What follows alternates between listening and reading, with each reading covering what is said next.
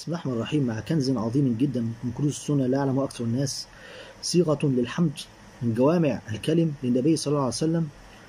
آه، لا تقدر بحسنات أعظم ما في هذا أعظم ما في مناقب هذا الحديث أنه أن الله تعالى يوكل لك سبعين ألف ملكا يستغفرون لك إلى يوم القيامة. ويكون هذا الاستغفار في في ميزانك يوم القيامة. روى الإمام الطبراني الحافظ الطبراني في المعجم من حديث عبد الله بن عمرو بن العاص. من قال الحمد لله الذي تواضع كل شيء لعظمته. الحمد لله الذي زل كل شيء لعزته. الحمد لله الذي خضع كل شيء لملكه. الحمد لله الذي استسلم كل شيء لقدرته. فقالها يطلب بها ما عند الله. كتب الله له ألف حسنة. كتب الله له بها ألف حسنة. ورفع له بها ألف درجة. ووكل الله له سبعين ألف ملك يستغفرون له إلى يوم القيامة. دي رواية هذا الحديث له شاهد آخر.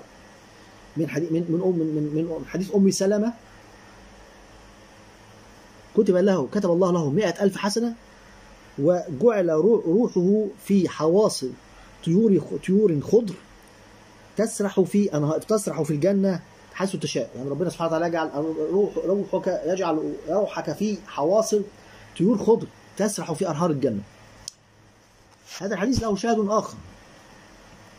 موقوف على عبد الله بن مسعود كتب عبد الله بن مسعود بيقول كتب الله رضي الله عنه كتب الله له بها ثمانين ألف حسنة ومحى عنه ثمانين ألف سيئة ورفع له ثمانين ألف درجة في الجنة. فأعظم مناقب هذا الحديث يبقى إحنا هنحتسب في كل في كل رواية من الروايات ديت أعظم الثواب. احتسب إن ربنا يوكل لك سبعين ألف ملك يستغفرون لك إلى يوم القيامة. احتسب إن ربنا سبحانه وتعالى يكتب لك مئة ألف حسنة احتسب احتسب إن ربنا سبحانه وتعالى يمحو عنك 80 ألف سيئة. احتسب إن ربنا سبحانه وتعالى يرفع لك في الجنة 80 ألف درجة. الرسول صلى الله عليه وسلم يقول في الحديث أفضل عبادي أفضل عبادي أمتي يوم القيامة الحمادون. بتشديد الميم الذين يكسرون من الحمد. فده فالذكر ده ذكر جامع. ذكر جامع من جوامع الحمد. ده كل اللي بقوله ده استغفار مرة واحدة بس.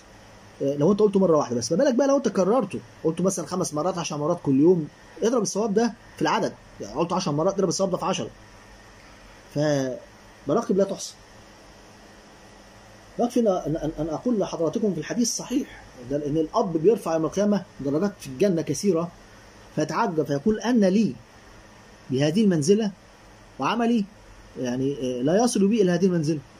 فيقول رب العالمين له باستغفار ولدك لك.